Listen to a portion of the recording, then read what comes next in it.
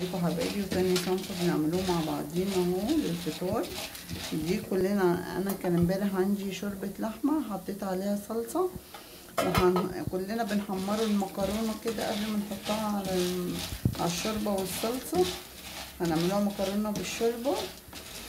كلنا بنحطها على الشوربة بتعمل تنفش على طول كده وبتكبر في الشوربة. لا إحنا بنحمرها كده اهو.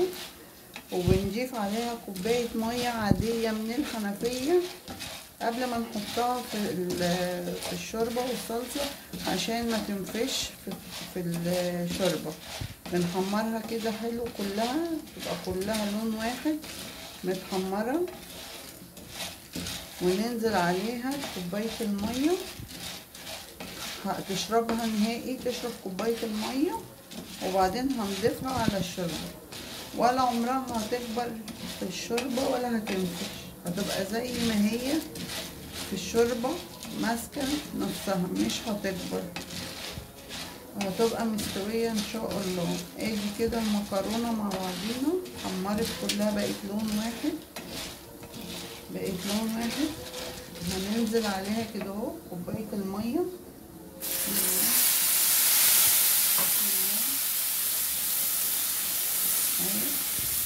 تشرب كوباية المية كلها تستوي فيها وبعدين نضيفها على الشوربة ان شاء الله مع بعضينا اهي كده اهو الشوربة معانا بتغلي وبالصلصة وهنضيف دلوقتي عليها المكرونة اهي اما تشرب كوباية المية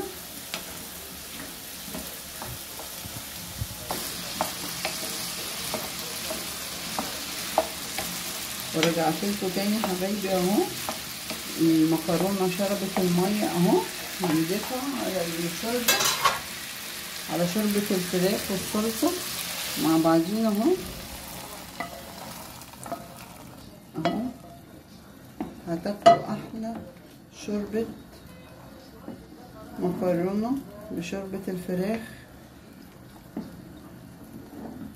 وكده. تاخد غلوة معانا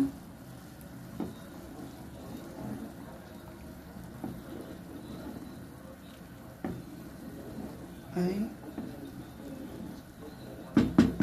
وهنطفي عليها. وساعة الفطار تصبيها هتكون ماسكة نفسها وحلوة في الشوربة. ما تنسوناش في اللايك والاشتراك عشان ينزلكوا كل جديد من بيت إيمي. السلام عليكم ورحمة الله وبركاته.